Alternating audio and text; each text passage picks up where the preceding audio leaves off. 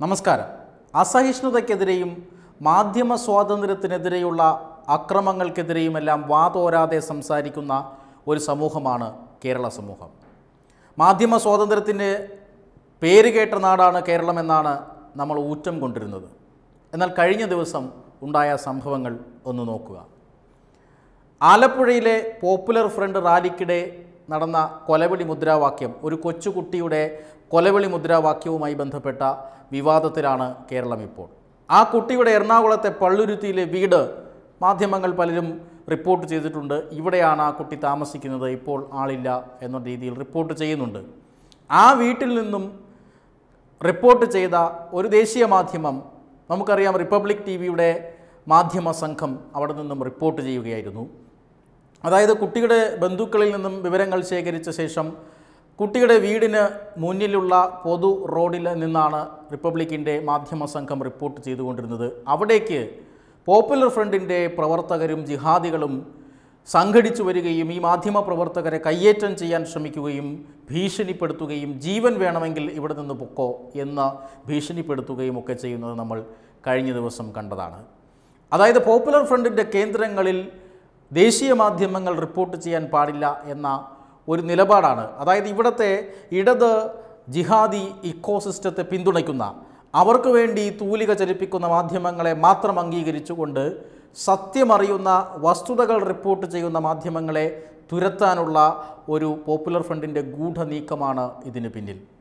പക്ഷേ കേരളം ഭരിക്കുന്ന C P I എമ്മിന്റെ നേതൃത്വത്തിലുള്ള എൽ ഡി എഫ് ആകട്ടെ പോപ്പുലർ ഫ്രണ്ടിന്റെ ഈ അതിക്രമങ്ങൾക്കെല്ലാം പിന്തുണ നൽകുകയുമാണ്. കാരണം മാധ്യമപ്രവർത്തകരെ സംരക്ഷിക്കാനല്ല അവിടെ നിയോഗിച്ചിരുന്ന പോലീസുകാർ ശ്രമിക്കുന്നത്.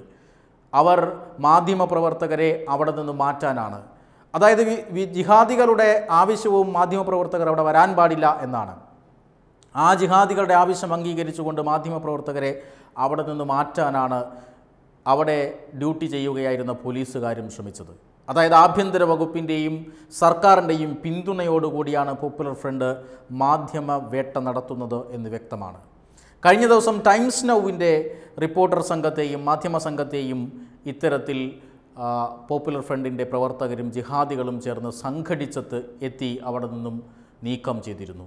അതായത് ഈ കുട്ടിയുടെ വീട്ടിൽ നിന്നും ഒരു അൻപത് മീറ്റർ അകലെയാണ് എസ് ഡി പി ഐയുടെ പ്രവർത്തകർ. ഇവർക്ക് ഇഷ്ടമില്ലാത്ത മാധ്യമ പ്രവർത്തകർ ആരെങ്കിലും അവിടെ എത്തുകയാണെങ്കിൽ ഉടൻ തന്നെ ഈ ഗുണ്ടകൾ സംഘടിച്ചെത്തി മാധ്യമ പ്രവർത്തകരെ ഭീഷണിപ്പെടുത്തുകയും കയ്യേറ്റം ചെയ്യുകയും ഒക്കെ ചെയ്യുന്നത് പതിവാണ്. എന്നാൽ എന്തു തന്നെ സംഭവിച്ചാലും തൽക്കാലത്തേക്ക് അവിടെ നിന്ന് പിൻവാങ്ങിയെങ്കിലും എന്തു തന്നെ സംഭവിച്ചാലും അവിടെ നിന്ന് റിപ്പോർട്ട് ചെയ്യുക തന്നെ ചെയ്യും. കേരളത്തിലെ ജിഹാദികളുടെ അജണ്ടകൾ പൊളിച്ചെഴുതുക തന്നെ ചെയ്യും. ഇവിടെ നിന്ന് മാധ്യമപ്രവർത്തനം നട്ടല്ലോടെ നടത്തുമെന്ന് തന്നെയാണ് റിപ്പബ്ലിക് ചാനൽ അധികാരികളും അറിയിച്ചിട്ടുള്ളത്. ഇതാണ് കേരളത്തിലെ മാധ്യമ സ്വാതന്ത്ര്യം. ഈ സംഭവത്തെ മറച്ചു പിടിക്കാൻ വേണ്ടി ഈ സംഭവം പൊതുജന മധ്യത്തിൽ ചർച്ചയാകാതിരിക്കാനായി മറ്റൊരു മാധ്യമം തിരുവനന്തപുരത്തൊരു നാടകം ഇന്നലെ നടത്തിയായിരുന്നു. അത് പി സി ജോർജിന്റെ മോചനവുമായി ബന്ധപ്പെട്ട് ഹൈക്കോടതി ജാമ്യം അനുവദിച്ചതിനെ തുടർന്ന് പി സി ജോർജ് പൂജപ്പുര ജയിലിൽ നിന്ന് ഇന്നലെ ജയിൽ മോചിതനായിരുന്നു. ആ പി സി ജോർജിനെ സ്വീകരിക്കാനായി ധാരാളം അദ്ദേഹത്തിന്റെ പാർട്ടി പ്രവർത്തകരും ബി ജെ പിയുടെ പ്രവർത്തകരുമെല്ലാം തമ്പടിച്ചിരുന്നു. അതിനിടയിൽ ചെറിയ രീതിയിലുള്ള തിക്കും തിരക്കും ഉണ്ടായി. ആ തിക്കും തിരക്കിൽപ്പെട്ട് ഏതോ ക്യാമറാമാന്റെ ട്രിപ്പോഡ് മറിഞ്ഞു വീണു. അത് മാധ്യമപ്രവർത്തകർക്ക് നേരെയുള്ള വലിയ അക്രമമായി ചിത്രീകരിച്ചുകൊണ്ട് ഇന്നലെ ഇത്തരത്തിലുള്ള ഇടത് ജിഹാദികൾക്കൊപ്പം നിൽക്കുന്ന ഒരു ചാനൽ വലിയ രീതിയിലുള്ള പ്രചരണം നടത്തിയിരുന്നു. ഇതിനുമെല്ലാം ശേഷമാണ് മറ്റൊരു സംഭവം മാധ്യമരംഗത്ത് തന്നെ അരങ്ങേറിയത്. അതായത് ഒരിടതുപക്ഷ സഹയാത്രികൻ എന്ന് സ്ക്രീനിൽ കാണാറുള്ള ഒരു വ്യക്തി അവതാരികയോട് അല്ലെങ്കിൽ അവതാരികയെ പച്ച തെറി വിളിക്കുന്നത് കേരളം ഇന്നലെ കണ്ടു ഞെട്ടിയിരിക്കുകയാണ്. എപ്പോഴും ഈ ഇടതുപക്ഷ ബുദ്ധിജീവികളെയും സഹയാത്രികളെയും എല്ലാം സംരക്ഷിച്ചു പിടിക്കാറുള്ള അല്ലെങ്കിൽ അവരോടൊപ്പം കൂട്ടുചേരുന്ന ഈ മാധ്യമ പ്രവർത്തകർ ഒരു വിഭാഗം മാധ്യമ പ്രവർത്തകരുണ്ട്.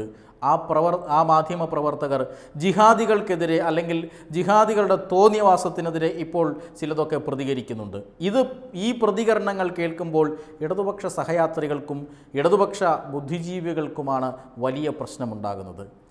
അങ്ങനെ ഈ പ്രശ്നങ്ങൾ മൂർച്ഛിച്ച് അത് തെറിവിളിയിൽ വരെ എത്തിയിരിക്കുകയാണ്. സാംസ്കാരിക കേരളത്തിന്റെ അവസ്ഥ ഒന്ന് നോക്കുക. ചാനൽ ഫ്ലോറിൽ വന്നിരുന്ന് ഒരു ലൈവ് ഷോയിൽ അവതാരികയെ പച്ച തെറിവിളിക്കുന്ന രീതിയിലേക്ക് വരെ ആ ഒരു അവസ്ഥയിലേക്ക് വരെ നമ്മുടെ സമൂഹം എത്തിച്ചേർന്നിരിക്കുകയാണ്. കേരളമാണ് കേരളത്തിൽ സംസാരിക്കുന്നത് സൂക്ഷിച്ചു വേണം. ഭാഷ നൈർമല്യമുള്ളതായിരിക്കണം. ഭാഷാശുദ്ധി വേണം. വ്യാകരണത്തെറ്റെങ്ങാനും വന്നുപോയാൽ ഇവിടെ ജയിലിൽ പിടിച്ചടയ്ക്കുന്ന കാലഘട്ടമാണ്. അല്ലെങ്കിൽ ജയിൽ ജയിലിലാക്കുന്ന ഭരണാധികാരിയാണ് ഇവിടെ ഭരിക്കുന്നത്.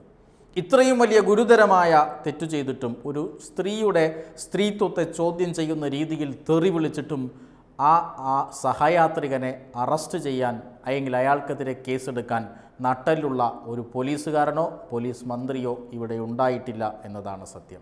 ഇതാണ് ഇരട്ട നീതി എന്ന് കഴിഞ്ഞ കുറേ ദിവസങ്ങളായി നമ്മുടെ സമൂഹത്തിൽ ഉയർന്നു കേൾക്കുന്ന ഒരു പദം. ജിഹാദികൾക്കും ഇടതന്മാർക്കും ഇവിടെ എന്തും പറയാം ആരെയും തെറി വിളിക്കാം തട്ടിക്കയറാം വേണമെങ്കിൽ തട്ടിക്കളയാം. ഇവിടെ നിയമവാഴ്ച നിയമ സംവിധാനം ഇവരെ ഒന്നും ചെയ്യുകയുമില്ല. ഈ വൃത്തികേടുകളെ വിമർശിക്കുന്നവരെ വാക്കുകളുടെ പേരിൽ ജയിലിലടയ്ക്കാൻ തുനിയുന്ന ഭരണാധികാരികൾ അടിയന്തരാവസ്ഥയ്ക്ക് സമമായ ഒരു സാഹചര്യമാണ് കേരളത്തിൽ സൃഷ്ടിക്കുന്നത്. ഇതിന് മുൻകാലങ്ങളിൽ കുടപിടിച്ചു കൊടുത്തിരുന്ന മാധ്യമങ്ങളാണ് ഇന്ന് അതേ പക്ഷക്കാരിൽ നിന്നും തെറിവിളിയും കേട്ടുകൊണ്ടിരിക്കുന്നത് എന്നതാണ് വൈരുദ്ധ്യം. വെബ് ഡെസ്ക് തത്തുമൈ ന്യൂസ്.